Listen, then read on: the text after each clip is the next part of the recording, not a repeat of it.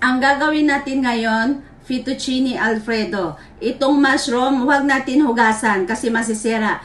Uh, punasan lang siya ng tissue. At saka, ganito ang pagka, ano, pagka punas. At saka, i-slice natin siya ng ganito.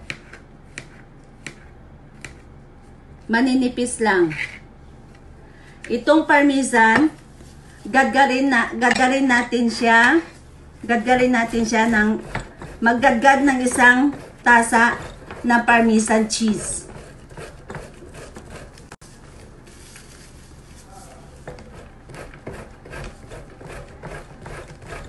Mag magisa na tayo ng mga sangkap. Ang unahin natin igisa, uh, lagyan natin ng butter at saka olive oil. Igisa natin ang sibuyas. Hanggang magiging golden brown ang sibuyas bago natin ilagay ang bawang.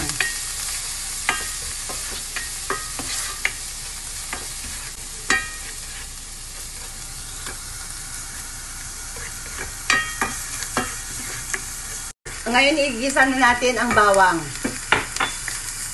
Pagkatapos ng bawang, igisa na natin yung mushroom. Hayaan na magiging golden brown din ang mushroom.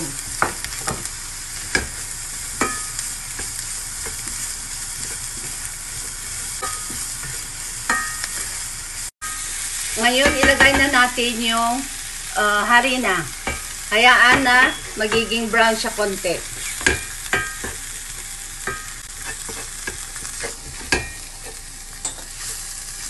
Pagkatapos niyan, asin at saka paminta.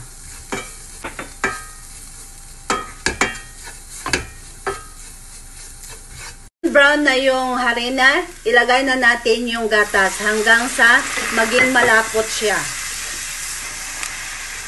At saka yung cooking cream.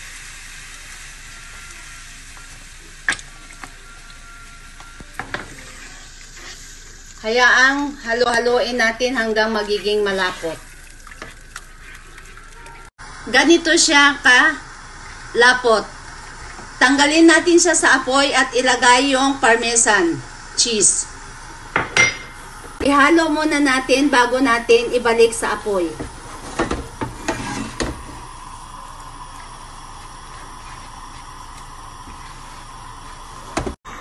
Ganito na siya kalapot halo-haloin siya hanggang sa matunaw yung parmesan cheese at saka mahinang mahina ang apoy, antayin yung pagkaluto ng macaroni fettuccine.